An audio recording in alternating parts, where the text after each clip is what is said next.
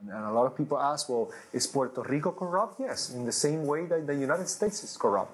Is the Capitol building in Puerto Rico corrupt? Yes, in the many same ways that the US Congress is corrupt. And it's something that uh, we need to make sure that we are able to face and that we're able uh, to combat uh, because it's like an anchor that does not allow our society to move forward.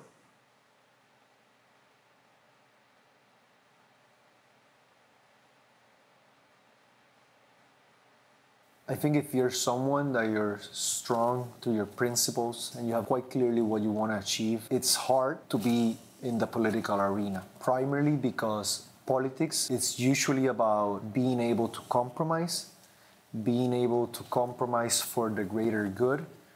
And a lot of people start justifying a lot of things. They start looking the other way when they shouldn't because the end justified the means. And that was my experience uh, when I got elected at 27. I went through a process uh, of a special election in which I was not supposed to win, in which there was this particular candidate that had the entire political establishment in favor. And as soon as I got elected, the same individuals that had made my life so difficult through that uh, electoral process were the same individuals that were offering you so many things. Now saying well if you play your cards right maybe one day you can be speaker of the house. Maybe one day you can be mayor of san juan. Maybe one day you can be governor. And they start to trying to find ways to compromise you. And since i didn't own any of them anything. From the day that I stepped foot in Puerto Rico's House of Representatives that 19th of August of 2013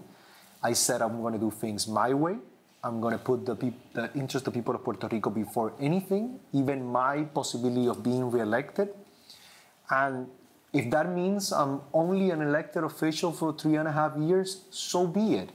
But the time that I'm here I'm going to do things correctly. We have an infrastructure problem in San Juan, whether it's working and safe roads, whether it's the parks and recreational areas that have not been maintained as they should, whether it's buildings, private and public, that have been abandoned and are currently not in use. But we need to think outside the box, but we need to innovate, but we need to think of San Juan as a as a ciudad inteligente, an intelligent city. We need to think of San Juan uh, as a ciudad de vanguardia in terms of education, in terms of, of providing for, for innovation. A lot of people don't know this, but San Juan, the municipality of San Juan, the government of San Juan, has a public university, El Colegio Universitario de San Juan. And right now, that's the most accessible college tuition in the entire island we need to capitalize on that. We need to make sure we expand on that. We need to make sure that we make that part of our economic development strategy. So I think we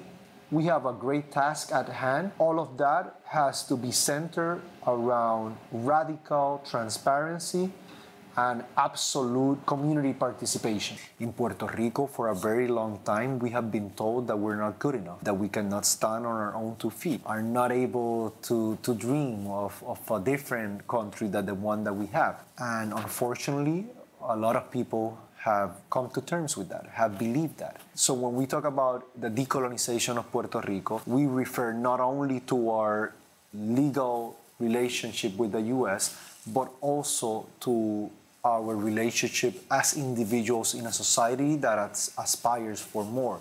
But it's not only about changing where our political sovereignty resides, it's also about whether we become independent, whether we become a state, whether we have some sort of free association with the United States. What's democracy going to look like in Puerto Rico? Um, who are the people that are going to be able to influence the different policies here in Puerto Rico? We have a crisis of democracy in Puerto Rico, not only because of our colonial relationship, but because of the social inequality that we have in Puerto Rico. It's also about making sure that the people of Puerto Rico have the necessary tools uh, to be able to, to think critically, to be able to decide upon themselves of, for what's best for the people of Puerto Rico and not depend on anyone, not even the government, not even a political party, in order to decide uh, what's best for our for our country.